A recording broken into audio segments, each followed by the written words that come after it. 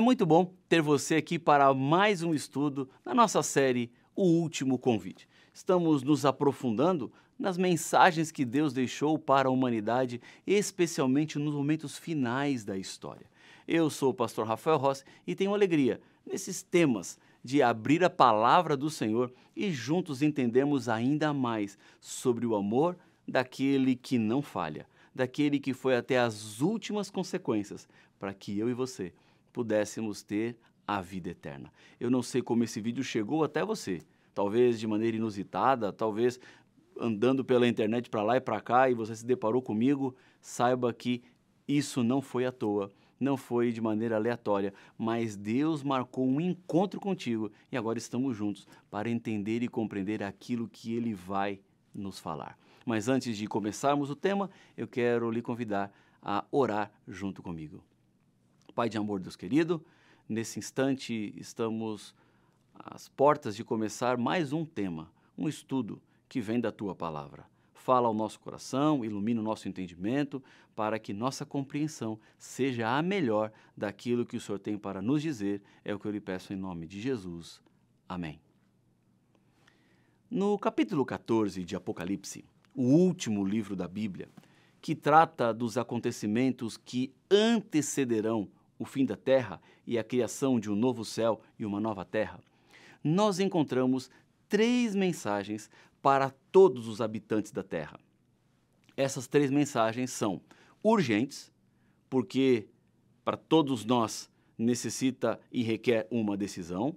Elas são universais, porque alcança todas as pessoas, em todas as eras, em todos os tempos, e elas são mensagens apelativas, ou seja, vai no seu coração para pedir uma decisão.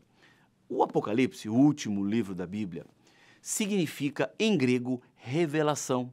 Ou seja, o que nós encontramos neste último livro da Bíblia é a revelação de Jesus Cristo das coisas que em breve vão acontecer, como vemos em Apocalipse capítulo 1, versículo 1, ou de como e quem ele é, Apocalipse 1:8, e qual o seu papel desde a criação do mundo, como está em Apocalipse no capítulo 13 e o versículo 8.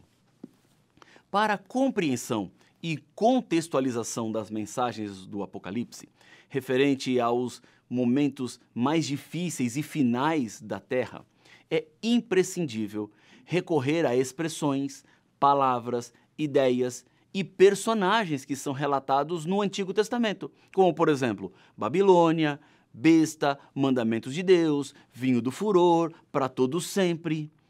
O livro foi escrito quando João estava exilado na ilha de Patmos, localizada na costa da atual Turquia, e abrange desde os tempos de Jesus até o fim de nosso mundo e a criação de um novo, sendo as três mensagens angélicas, aparecendo no capítulo 14, as advertências de Deus para os momentos finais da história do planeta. Para contextualizar, Apocalipse 12 retrata uma guerra que começou no céu. Lá no versículo 7, diz que Satanás se levantou contra Deus e resultou na expulsão deste anjo rebelde junto com os anjos que o seguiram. Eles foram lançados para a terra, onde o dragão, Satanás, tentou devorar o filho, Jesus, quando ele nascesse. Este filho que estava no ventre da mulher, que era representada pelo povo de Deus aqui na terra. Isso aconteceu na ocasião em que Satanás, usando o nome de rei Herodes, tentou matar o bebê Jesus. Porém, José e Maria fogem para o Egito. O plano de execução falhou, porque um anjo veio e advertiu o pai e a mãe que eles deveriam sair de casa. Tempos depois, Cristo aqui na terra derrotou Satanás na cruz. Veja o que Paulo escreveu em Colossenses, no capítulo 2 e no versículo 15. Colossenses capítulo 2, versículo 15. Diz assim a palavra do Senhor: E despojando os principados e as potestades, publicamente os expôs ao desprezo, triunfando deles na cruz. Jesus é o sacrifício e ele ressuscita dentre os mortos, a fim de que, por meio da sua morte, ele destruísse aquele que tem o poder da morte, a saber, o diabo, como diz Hebreus capítulo 2 e o versículo 14. Então, Apocalipse 12 retrata a vitória definitiva e final de Cristo Jesus. Derrotado no céu e na cruz, Satanás persiste em atacar a igreja de Deus, simbolizada por uma mulher ou por uma noiva pura, como vemos em 2 Coríntios capítulo 11, versículo 2 e também em Jeremias capítulo 2, versículo 2. Em Apocalipse 12, a igreja de Deus, uma mulher, é perseguida pela serpente. Isso está nos versículos 13 e 14. Vamos lá, Apocalipse 12, versos 13 e 14 para entendermos exatamente a linguagem da palavra de Deus e como a Bíblia descreve este conflito entre o bem e o mal.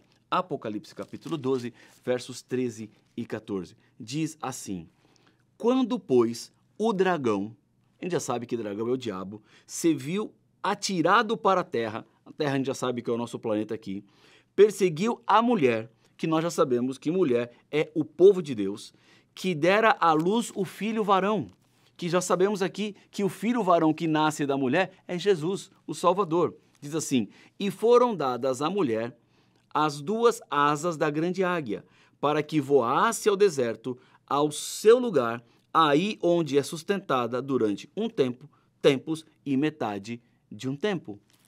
A fuga da mulher para o deserto refere-se ao antigo Israel, que viveu no deserto e foi protegido por Deus dos inimigos e da destruição. Mas também a perseguição de Roma à igreja cristã, depois que Jesus veio à terra, morreu para salvar os seres humanos e retornou para viver no céu. Cristãos eram jogados aos leões, queimados como tochas vivas no Coliseu, vestidos de peles de animais e arrastados por cães, pregados em cruzes ou entregues a chamas para servirem de iluminação noturna após o pôr do sol.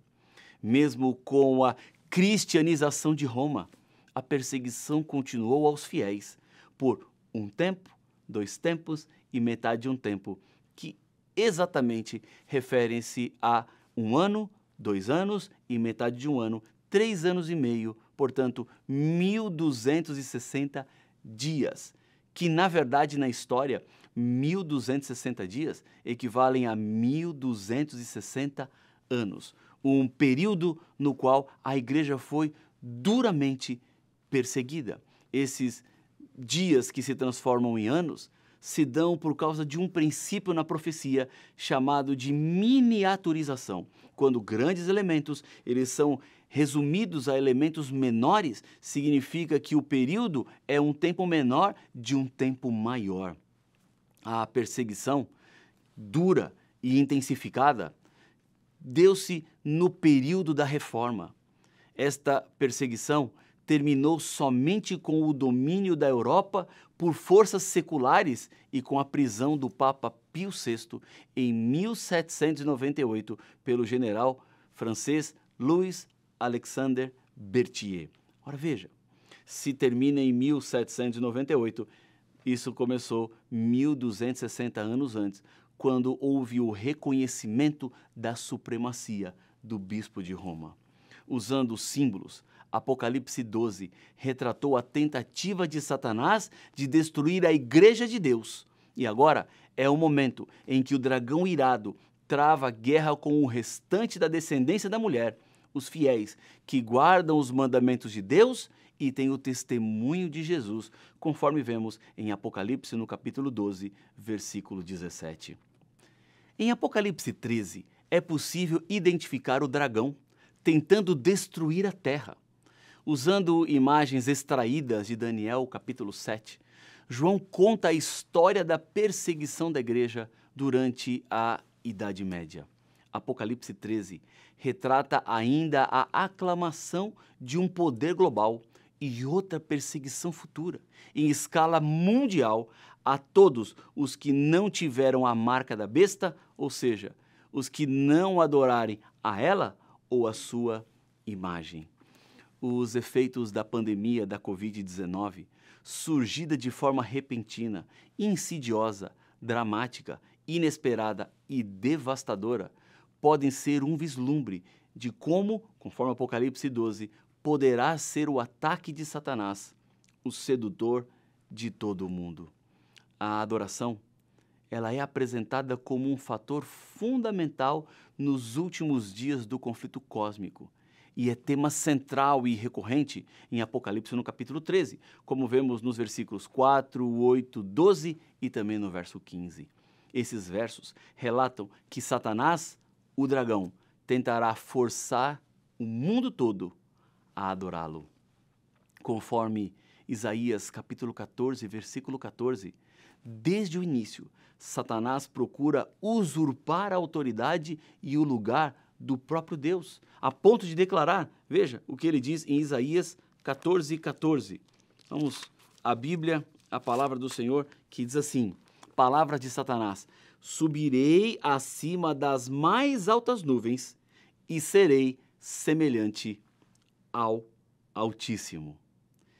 Quem deve ser adorado, quem merece adoração e como deve ser adorado são assuntos que assumem relevância crucial na compreensão das três mensagens angélicas. Este é um ponto central. Enquanto Deus aceita adoração e obediência somente pelo amor e pela liberdade, as forças do mal impõem adoração por meio do engano, da violência e das pressões. Segundo Apocalipse capítulo 13, vamos lá, Apocalipse capítulo 13, vemos esse sistema do mal, o sistema do engano, da mentira, do pecado, tentando levar as pessoas à adoração falsa e equivocada. Apocalipse capítulo 13, versículo 15, diz o seguinte: E lhe foi dado comunicar fôlego à imagem da besta, para que não só a imagem falasse, como ainda fizesse morrer quantos não adorassem a imagem da besta. Veja o versículo 17. Para que ninguém possa comprar ou vender, senão aquele que tem a marca, o nome da besta ou o número do seu nome. A menos que alguém se sujeite a isso, a menos que alguém siga esta mentira, esse sistema falso, eles não poderão comprar e nem vender. Agora, o que a Bíblia nos diz é que na palavra de Deus, naqueles que vivem de acordo com aquilo que Deus deixou escrito, esses sim podem encontrar esperança e podem encontrar conforto, porque tudo está nas mãos do Senhor.